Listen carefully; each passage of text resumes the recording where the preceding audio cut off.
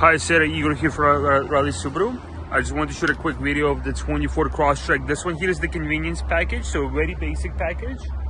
But as you can see, it still comes with a nice 8.7 inches ground clearance, so it's quite higher up. You do get the Subaru full-time all-wheel drive system that sends power to all four wheels at the same time. You get nice blacked out rims. Even though this one is a basic package, it still comes with the Apple CarPlay, Android Auto, um, nice LED headlights here. This one is the offshore blue color, very popular.